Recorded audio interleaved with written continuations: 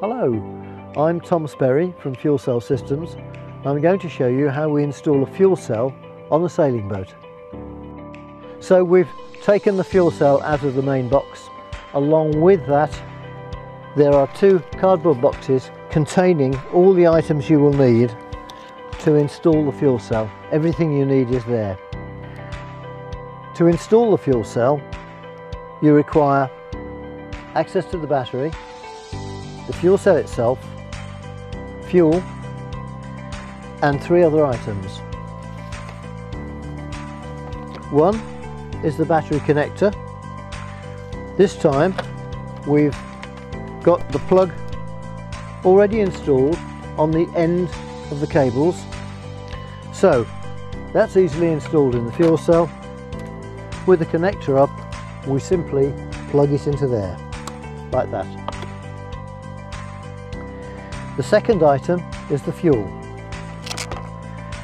The fuel is, in this case, in a 10 litre container.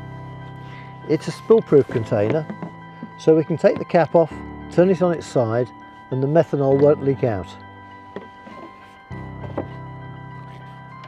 To connect it to the fuel cell, the probe opens the valve, simply screw it on, like that, and that's the job done. So having installed the power and the fuel, the next thing is to communicate with the fuel cell. We need to know what's happening, whether it's on or off, whether it's producing power and what the battery voltage is. As standard we can do it with this Bluetooth adapter. This simply plugs in. So in there, push it home, test it and we now have communication with the fuel cell. We need to load our app onto the smartphone or we can use the display. This is an optional extra and this fits into the bulkhead in the nav station or wherever you like and provides data for the system. Next we have the vapor tube.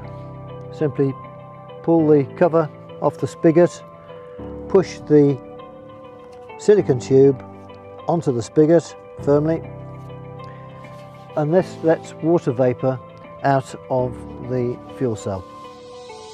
And finally we have the off heat hose. This is a metal expandable hose which can go up to a metre in length. In fact in this instance we don't need it as a metre, we're going to use a very short length and this simply pushes onto the off-heat duct of the fuel cell.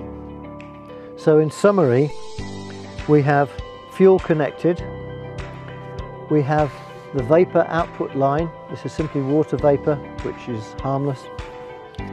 We have the connections to the battery, we have the communications Bluetooth connector.